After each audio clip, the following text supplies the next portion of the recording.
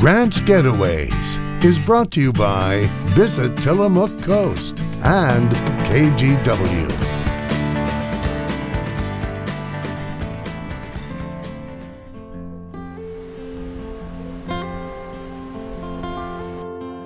Back road adventures are the very best. You know, the ones that let you enjoy a sneak peek at nature. We're tucked up here in the Oaks, and it's a different wildlife area.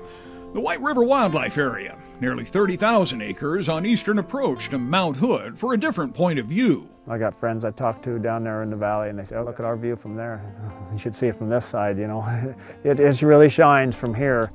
The White River Wildlife Area was established in the 50s to keep wintering deer and a growing elk herd up here in the Cascade foothills, less than 20 miles from Mount Hood, rather than down below on neighboring farmlands. A feeding program serves the wildlife. It's given a bit more opportunity for more viewing.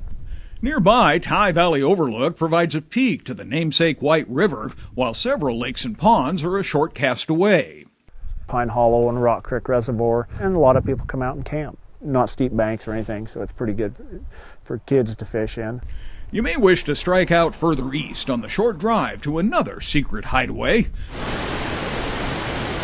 The White River plunges over a basalt shelf at an Oregon State Park that offers a sprawling greenway with picnic tables. It's a day use site that opens each spring and then explore the rugged quarter mile trail that takes you riverside, where you discover something more.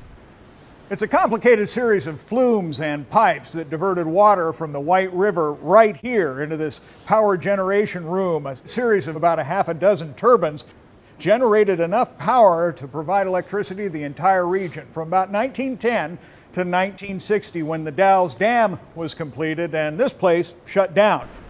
For safety reasons, Oregon State Parks does not want visitors inside the powerhouse building, so observe the signs as you explore the area. And don't forget a camera. There are powerful moments at every turn of this trail that connect with overlooks where two plunge pool falls drop more than 90 feet in dramatic fashion. The park is a popular picnicking, hiking, and fishing retreat for visitors who wish to dip their toes in the greater Deschutes River Basin. It offers easy to reach high desert landscape for scenery, history, and wildlife.